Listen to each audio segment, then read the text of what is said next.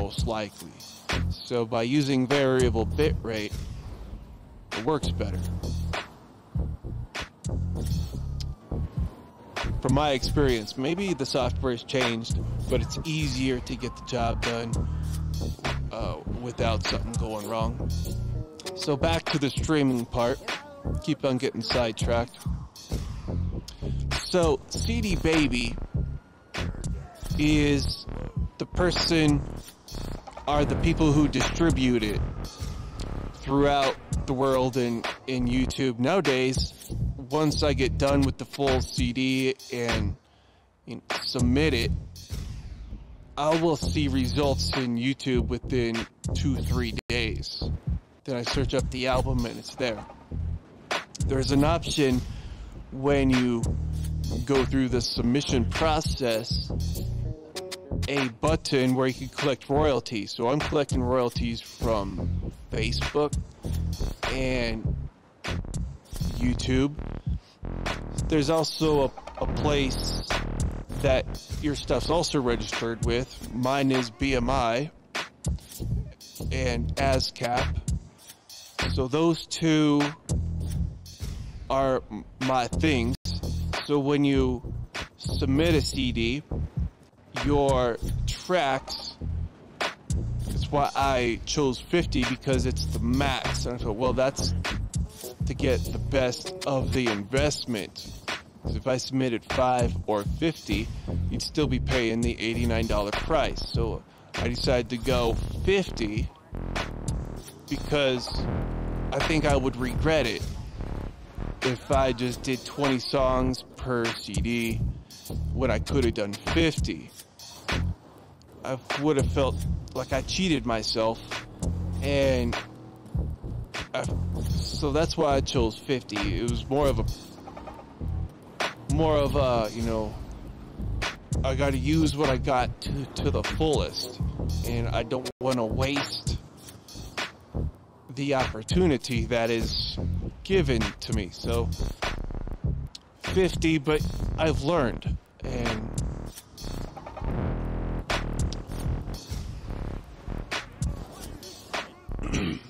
two years later or we've learned how to title our stuff better. And it's all about it's just process. That's all it is. Um, so when when they send it to all these places itunes usually takes the longest or in apple for reporting it's pro- it's probably true you don't see much funds for the first nine months, but you do you do see it. And now I release these albums under free for all. Um, or, or do it all, do them all, including the free ones. So there's some sites out there. Um, I don't really know the name, but if you were to do my album name like CJ zero zero CJ zero ten. Try that one. If you type that in Google, CJ zero ten space CWSPOD, those two names together, it should pull you up on all the pages that I'm listed at. And okay, so these are instrumental tracks. You are more likely to get distributed worldwide if the world can understand it. So most of us understand music, whether you are Chinese, Hispanic, no matter the color, shape, or sound, animals even like it. And how big is the marketplace for English only rapping, um, especially my style, there there wasn't a big market for it anyway. So if I wanted to do what I love to do, I have to start learn to make music. That was again the only thing that made sense was to now let's just make music and somehow work what I love to do into that. So we've learned a lot to become a serviceman. I read somewhere and it stuck with me that you have to provide a service. Why would someone buy this from you? And what's great about instrumentals is if you are a good talker and you got rich material you want to talk over, you don't have to cater to the advertisers. The advertisers or like YouTube, that's why I offer it for free because it eventually gets on YouTube somewhere. And I remember doing this in the early days when I was using other people's music. It was frustrating because sometimes you get copyright strikes and you're like, you know, what the F? So for doing it for free, people will not get that with this setup, so they're more likely to use it for their setup if they don't have to worry about getting a copyright strike from someplace. And the big places in the world, YouTube matters. Uh, Facebook matters. Probably the two biggest platforms. Apple, you know, the, the three biggest platforms in, in the world that are going to pay attention to you. Now you got radio stations, movie theaters, uh, special events. People are taking it with their phones, and YouTube listens real good because the spider bots that weave through the internet can pick up on this kind of stuff because they don't want to get sued. So they really listen for that copyright. They got to protect their ass. Uh, so BMI doesn't go after them for stealing.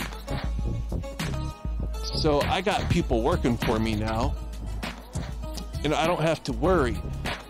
And I figure, okay, I will pay for a Mediafire account. You can find it on my Twitter page dot com slash CWSPOD. Scroll down a bit till you find Media Mediafire. It's the latest link. It's, um, I updated it to include the CDs. I, um, so you get to download the WAV files, the WAV files that I submit to CD Baby. So you probably get it in great quality real good quality if, if your stuff. So Google already understands that. So by giving it out to people freely, we'll eventually go back to YouTube. YouTube is listening hard and for that fingerprint of your song. How does YouTube pay me? Well, if you're not a YouTube Red premium person, then you will see ads across your screen. You're forced to watch ads. And those ads are what pay me. If you're not watching ads, then part of your monthly payment, like I got a family plan that costs 22 bucks every month. And that money that I pay YouTube goes to people like me. Every video that I watch, which is basically 15 a day, YouTube keeps track of that at any time. YouTube can identify something like my music on the fingerprint because remember every song has their own identification and it's a digital fingerprint. There's no two songs that have the same fingerprint. so when so when the um, system reads the song, it has like a tag in it with your fingerprint on it. Some added information that the bigger places have when identifying this kind of stuff. And it's got numbers attached to the fingerprint. And these numbers then go back to BMI and CD Baby and Mia uh, um, underneath. So now you're dialing in numbers right back to CD Baby and it goes into the account in CD Baby's account until your money reaches 10 bucks. And when it reaches Monday or Sunday, they're going to send that payment to you and you'll see it in your eBay on a Monday. That's how the system works. So to be honest, no one needs to know that I exist. And in many ways, I believe that I don't need to promote my service. It will eventually promote itself. I constantly get ridiculed over how little money I make. But, you know, I don't let that bother me because I see how it works. I really do. And I want to produce instrumentals and it's not so much about freestyle anymore. Even though I do enjoy it, it's harder on my body for one. Um, it, it still takes a lot of prepping and a lot of mental discipline to get through the full four hours editing it is a pain in the ass when it comes to my voice because it's it's not made for rapping. And so I have to deal with a lot of things when it comes to vocally. And that's why I like instrumentals. I can do this quickly. So I've found a system that doesn't involve me in it. And that's where you go, ah, so it really isn't about me. It's about a service that I made for myself, but then I was like, ah, it's about you. It's like giving it to you. But I'm taking advantage of a payment plan. I'm taking advantage of what is offered to me in 2019. It could change. But the way it stands now, the more instrumentals I can distribute around the world, whether free whether I'm selling them on CD Baby for $2.99, or I'm sorry, um, $1.99, whether you go to YouTube and you're listening uh, with through ads or your um, payment plan, you got Spotify, you have all of these other sites, man, that are working for you. They sit there 24 hours a day. Like whores and bitches, handing out your flyers if anyone comes close. And I like that this is done automatically. It, it keeps on growing, and you probably couldn't sustain a living doing just one or two albums, especially when you're not that experienced on marketing. you're not programmed to socialize to the public in the correct way. We're a creator, so we're lacking that possibility range that we could be a good marketer. So I, I have to use the system to my advantage once again. And 50 tracks, 300 albums, 50 times 300 is 15,000. That defines what Creative Wind Studios is, and that defines the whole career.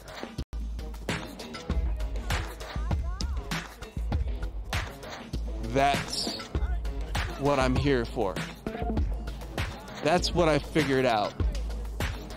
And takes a while.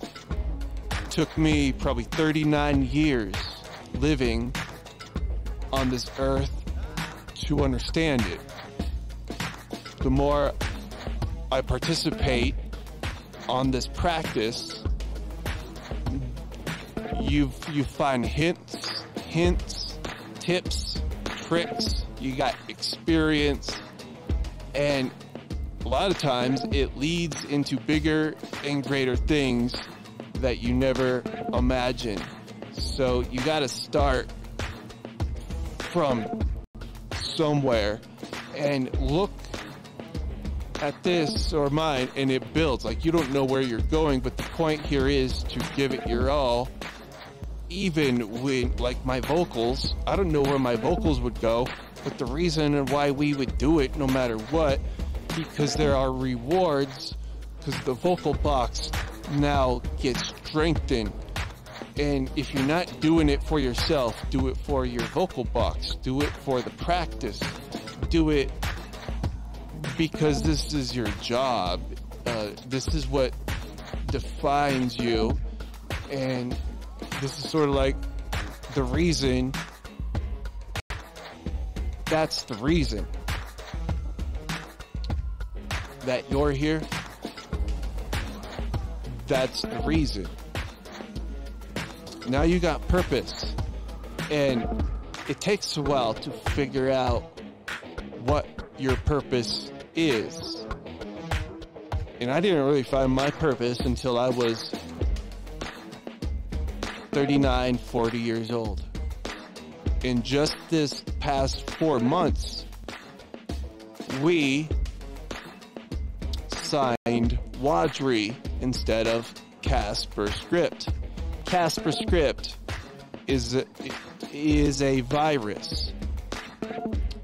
Casper Script is a virus from Linux. Casper Script is also um, an invisible script, freestyle, improv. Casper is the friendly guy. So he was a bunch of dudes traveling along with me. Then Wadri finally made sense.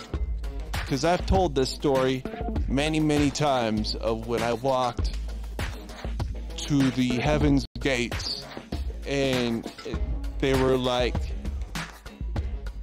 do you have any last words? And I was like, we ain't done rapping yet. Or I ain't done rapping yet, but we ain't done rapping yet. So Wadri is the person who we signed. So it took a long time to break the belief of who I chill with. It took me a long time to understand the truth that no one sees. Only you see it and it's real to you and it will die with you. But I use that as like that's who we are now. We ain't done rapping yet.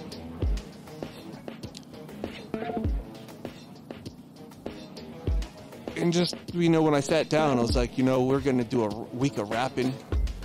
Like like I said, you know, rapping with my voice, it's gotten better over the years, is one of the hardest things to do when it comes to editing or EQing, because many things can go wrong. And I'm always trying to tweak and twerk it. Y'all understand that no two albums really sound the same. I understand that no matter what, I need to lay off the compression as much as possible. And these last three albums, that's exactly what I did. I didn't do any compression until the mastering point. Before I would have, you know, ran a few compressors, probably twice at least, before it got to this point. And so I was like, damn, you know, I screwed up 21 albums or so with, they don't sound bad, and maybe that's why I got tinnitus, uh, or why I no longer want to work with cymbals, or now I turn down the treble quite a bit. Apologize if it, if it sounds dull, but, you know, I don't, I don't like it, because I sit here for many, many, many hours, and with loud music. Usually I have these things blasting. Not too loud though, but blasting, loud. So that's like eight hours, you know, four hours of loud and just really trying to pay attention to the sound and how, how it how it is because you're listening to it at the same time. You're you're also like actively participating in like, well, what would it sound like on the editor? So you're always trying to critique and work with it. You know what, what's funny is I'm not the same person who I used to be. And what's also funny is I've always said that I'm not a religious person.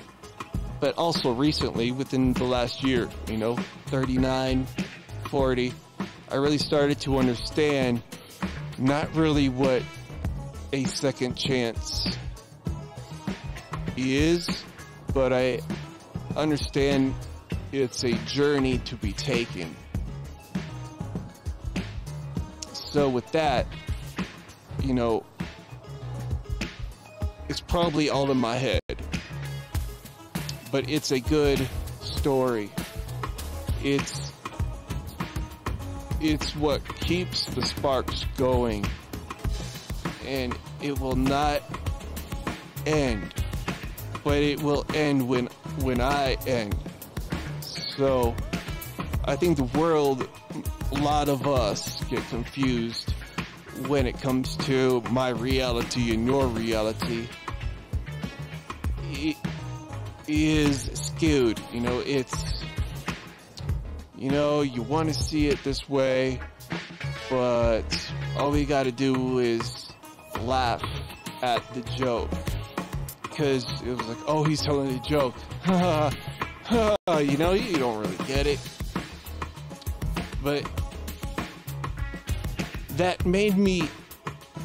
I used to be a hater on religion, but now not so much. Now I understand it rather than being like, Daddy, why did you do this to me? You know, I'm having, I don't have conversations nor really thoughts with the other side. And that's weird because I tell the story of like, yeah, I've been to the heaven's gates. But then, you know, there's this resistance about me that you know, well, I've been there, so I should be real all up in. I want to know about it. You know, I don't know because I have watched a lot of culture documentaries and a lot of religions that these people follow. And then I've watched a bunch of other documentaries validate other documentaries. And at the end of the day, it's a moral system in our head you gotta have something like we ain't done rapping yet. That seems to be my something. Before, I was definitely lost, but Wadri is what turns on the screen when I turn on, open up my eyes in the morning. That's what it is now, you know. I'm just a completely different person, and I don't know what you call this but I struggle of be like, yeah, you know, I'm back here from heaven. I mean, it's it's it it's really what I interacted in, but was it because I was taught it? If I was taught any other language, would my near-death experience have been any different? If I don't know English, but I knew Chinese, you know, what if my life never went into music? Maybe that near-death experience wouldn't happen. But what if I wasn't connected to music? What if I was like, yeah, you know, I ain't got shit to say? I could have, but I didn't have any choice because that's really what I saw at that time. Was this person I'm trying to become? And I brought it all the way there. And I didn't like think anything on the way there.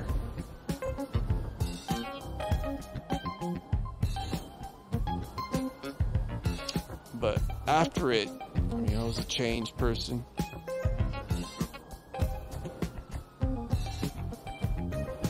And that was 15 years ago.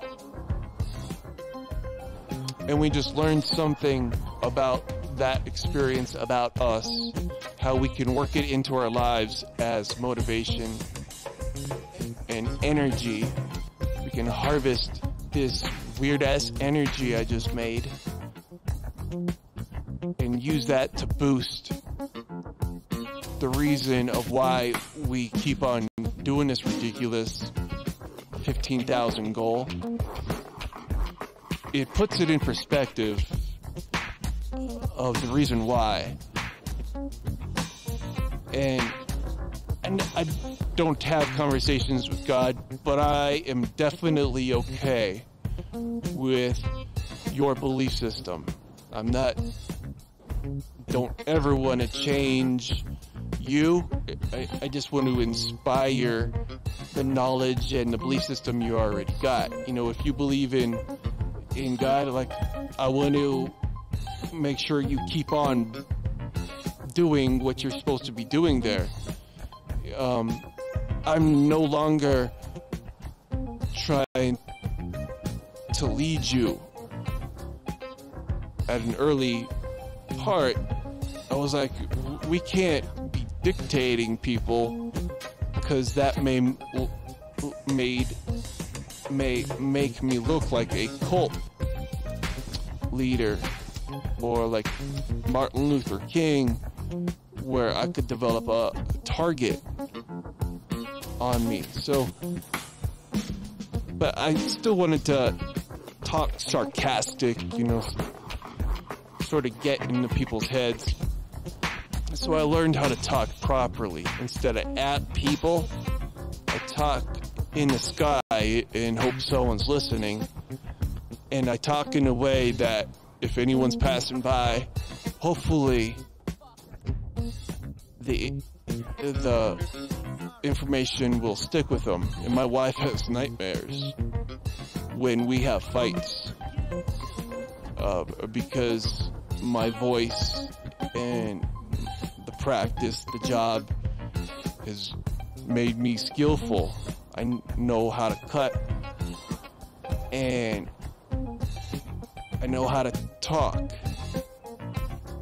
to get the point across without jabbering on forever. That is something I used to do a lot, jabber on forever. And now that I've learned to talk,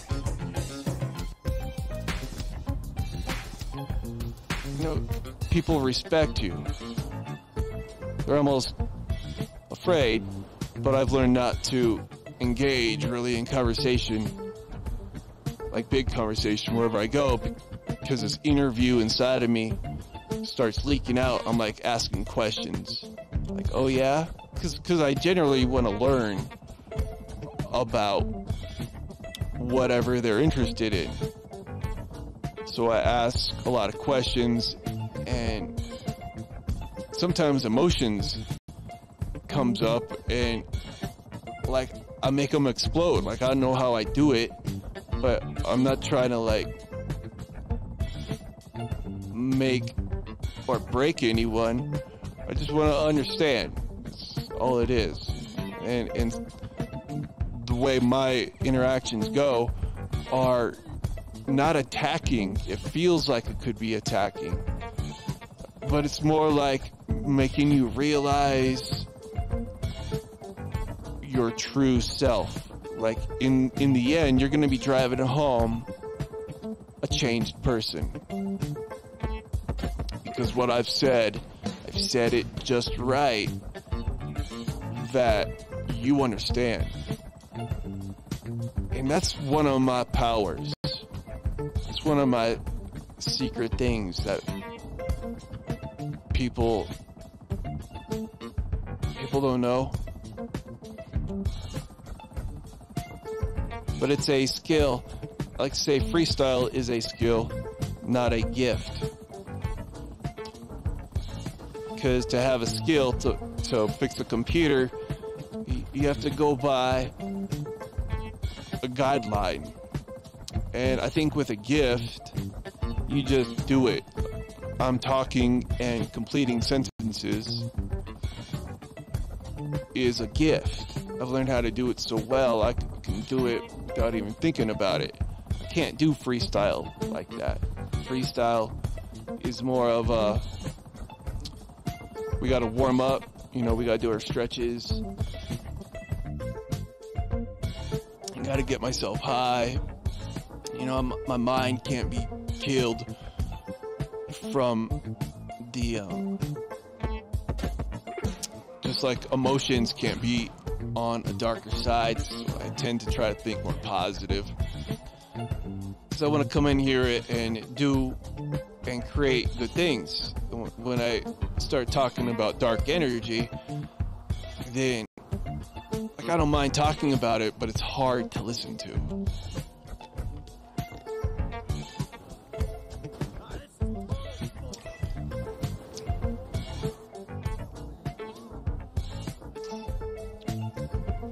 Does that make sense? I don't like to listen. I don't mind making songs about, you know, sexual things. But when it comes toward, you know, like negative gain towards a person's life, I don't want anything to do with it. And I'm okay dealing with it, but and sometimes with interacting in it, it can be escalated just because I'm so interested and I don't let it get to me that sparks can fly.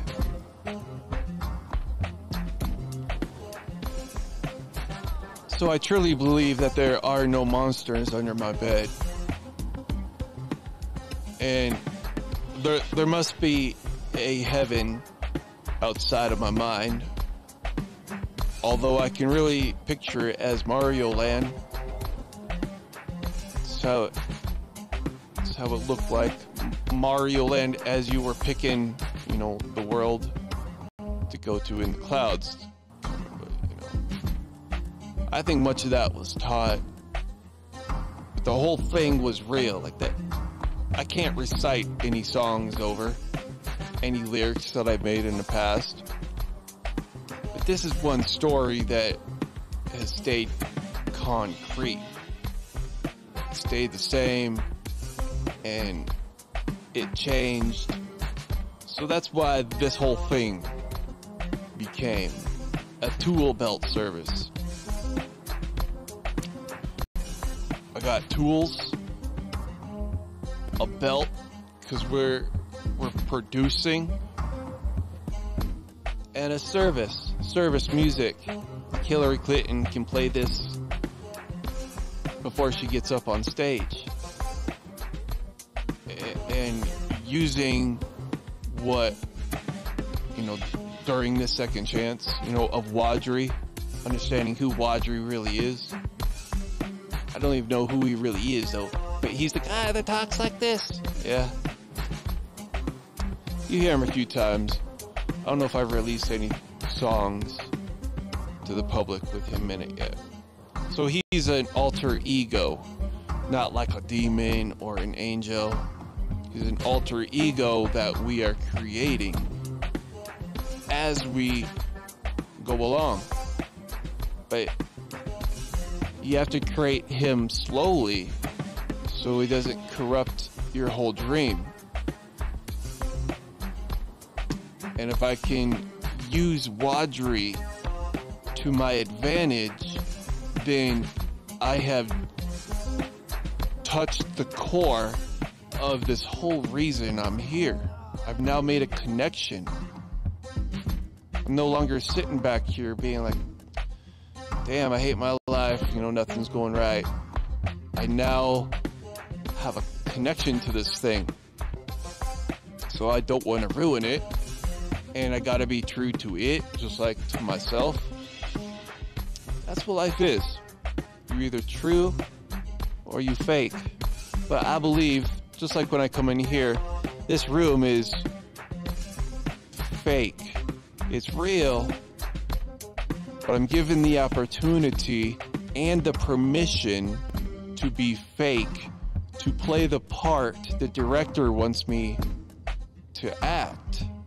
This room is an acting room, it's a practice room, it's a given the permission room, it's your allowed room, uh, but just don't overstep the boundaries, especially when it comes to names or people. Those two things never talk about. You keep your swear words to a minimum. Um, that impresses people. We're not looking for the impressment, but who needs them in there anyway? If we're going to judge ourselves for 200 years, swear words have always been around, but I don't want to include them. So we talk about sex. Sex has always been around. Money. Money has always been around. Talk about, um, can I do it? Uh, so that will always be here. I suspect that's how it was 500 years ago or even a thousand years ago. I suspect that love and hate and, and that is also what was going on, even in their stupidity. Know, um, just like the history of aviation, those guys were considered smart. No, they, they're stupid.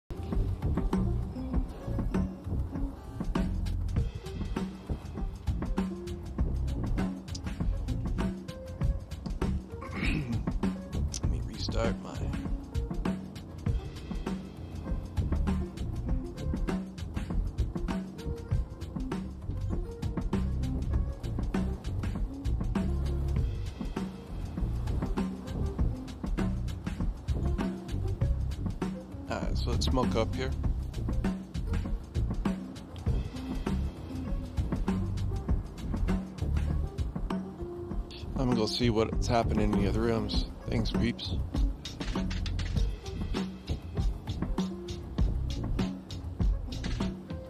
Now, Wakanda has got three peeps in it. It's because he was having VIP.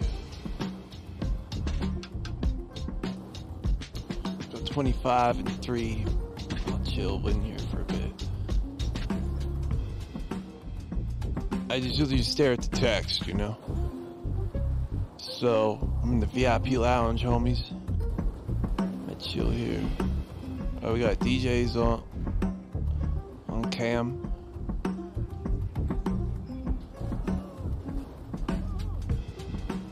They're a nice looking guy.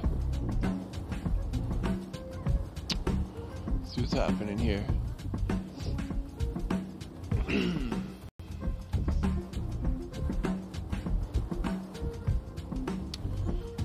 Not really anything, but I'm gonna chill.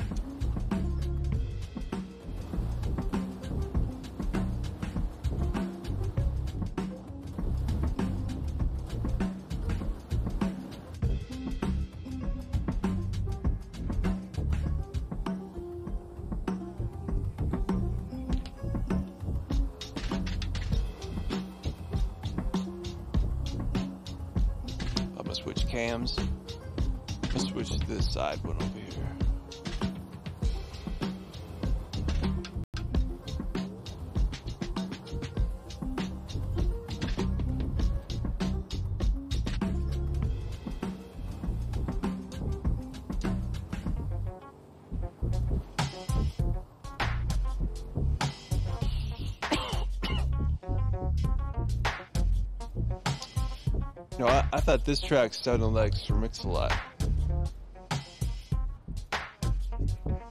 Let's see if Sir Mix-a-Lot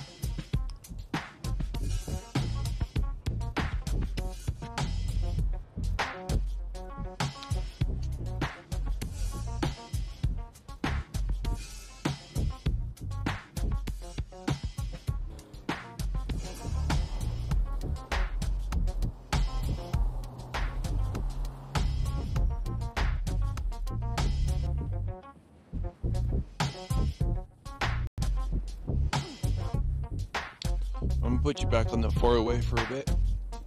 We're gonna sit here and get high.